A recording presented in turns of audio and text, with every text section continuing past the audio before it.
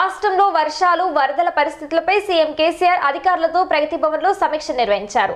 వర్షాలు వరదల నేపథ్యంలో తీసుకోవాల్సిన రక్షణ చర్యలపై మంత్రులు ప్రజా ప్రతినిధులకు సీఎం ఆదేశాలు జారీ చేశారు.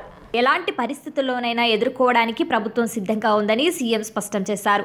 లోతట్టు ప్రాంతాల ప్రజలను అప్రమత్తం చేయాలని సీఎం ఆదేశించారు. కుంటలు చెరువులు డ్యాంలు రిజర్వాయర్లకు వస్తున్న వరదలపై ఎప్పటికప్పుడు వివరాలు తెలుసుకుని చర్యలు చేపట్టాలని అధికారులను సీఎం కేసీఆర్ ఆదేశించారు.